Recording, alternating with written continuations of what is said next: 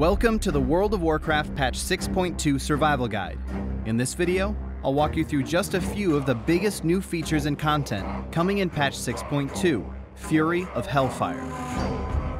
Gul'dan has twisted and corrupted the remnants of the Iron Horde to create his own fel army in service of his masters, the Burning Legion. To stop him, you and your forces will need to form an assault on Tanaan Jungle, the seat of power for the former Iron Horde. Tanaan is a huge new zone and features a ton of new content, including a new chapter based quest campaign, several new objective hubs, new rare creatures and hidden treasures to find, and the return of Supreme Lord Kazzak. To get to Tanaan, you'll need to attack Gul'dan by sea.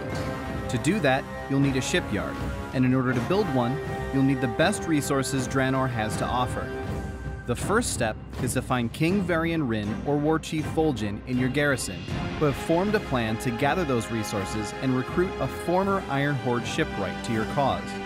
Completing these tasks will let you construct your shipyard, which not only allows you to get to Tanaan Jungle, but also lets you build a variety of ships and send them out on naval missions.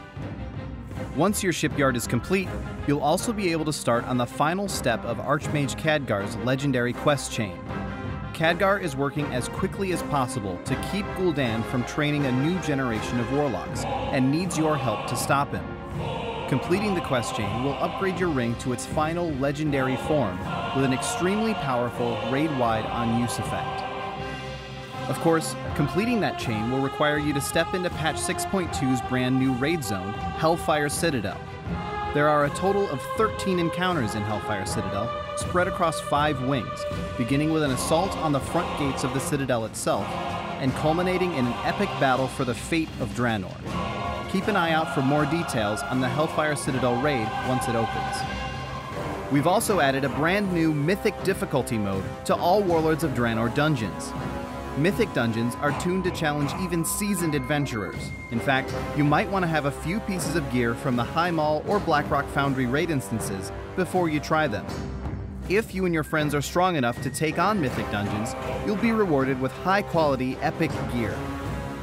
Last up is our new bonus event system. This system allows us to create special, time limited bonus events that give you extra rewards for participating in a specific activity. Each event will point you toward a different type of content, including a brand new feature we call Time Walking.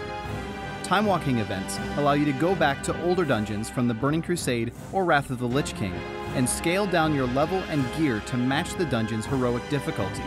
However, the loot you receive will be scaled up to your character's level, and level 100 characters can earn an extra bonus roll token for use in level 100 raid instances.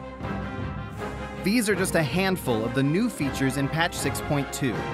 There's also a new adventure guide which directs you to content relevant to your character, class and profession updates, some major improvements to Ashran, a new meta achievement that will eventually allow flight in Draenor, and a whole lot more.